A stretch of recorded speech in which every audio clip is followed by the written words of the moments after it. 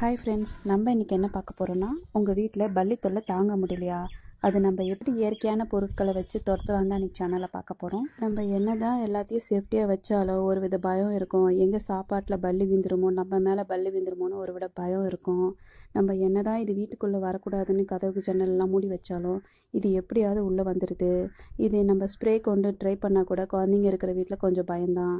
அதனால் நம்ம இயற்கையான பொருளை வச்சு இதை எப்படி விரட்டலான்னு பார்ப்போம். ஃபஸ்ட்டு பார்த்தீங்கன்னா காப்பித்தூள். காப்பித்தூளை நீங்கள் புகையிலை பொடி கூட சேர்த்து தண்ணீர் ஊற்றி சிறு சிறு உருண்டைகளாக உருட்டி அதை பல்லி வரும் போக இடத்துல நீங்கள் வச்சிங்க அப்படின்னா அது அந்த பல்லி சாப்பிட்டு இறந்து போயிடும். அடுத்து பார்த்தீங்கன்னா மயிலிறகு. மயிலிறகு அப்படின்னாவே பல்லிகளுக்கு பயம்.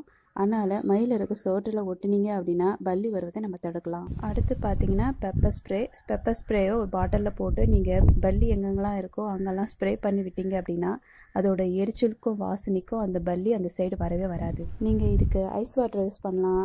நல்ல குளிர்ச்சியான தண்ணீரை பல்லியின் மீது தெளித்தீங்க அப்படின்னா அந்த பல்லி வெப்பநிலையை குறைத்து அது நகர முடியாமல் அப்படியே தத்தளிக்கும்.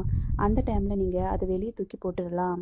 இதுக்கு நீங்கள் வெங்காயத்தை யூஸ் பண்ணலாம். வெங்காயத்தை சிறு சிறு துண்டுகளாக நறுக்கி அதை பல்லி பதுங்கி இருக்கிற இடத்துல போட்டிங்க அப்படின்னா வெங்காயத்தில் இருக்கிற சல்ஃபர் துர்நாற்றத்தை உண்டாக்கி பல்லியை வெளியேற்றி வராமல் செய்துவிடும்.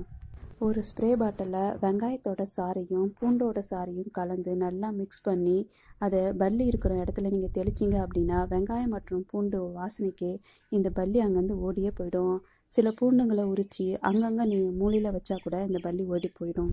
முட்டையோட ஓட்டை வீட்டின் மூளைகளை நீங்கள் வச்சிங்க அப்படின்னா அதுலேருந்து வர வாசனையால் இந்த பல்லி அந்த பக்கமே வராது. இதை நீங்கள் மூணு அல்லது நாலு வாரத்துக்கு ஒருமா மாட்டலாம். இதை செய்கிறதுக்கு முன்னாடி நீங்கள் என்ன செய்யணும்னா முதல்ல உங்கள் வீட்டை ரொம்ப சுத்தமாக வச்சுக்கணும். அதிக அளவு குப்பைங்களும் ஒட்டனையும் கே சேராத மாதிரி பார்த்துக்கோங்க.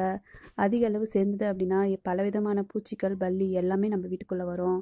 ஸோ நம்ம வீட்டை சுத்தமாக வச்சுக்கணும். இது போன்ற தகவலை பெற எங்கள் சேனலுக்கு லைக் பண்ணுங்கள் ஷேர் பண்ணுங்கள் கமெண்ட் பண்ணுங்கள் மறக்காமல் சப்ஸ்கிரைப் பண்ணுங்கள் தேங்க்யூ ஃபார் வாட்சிங்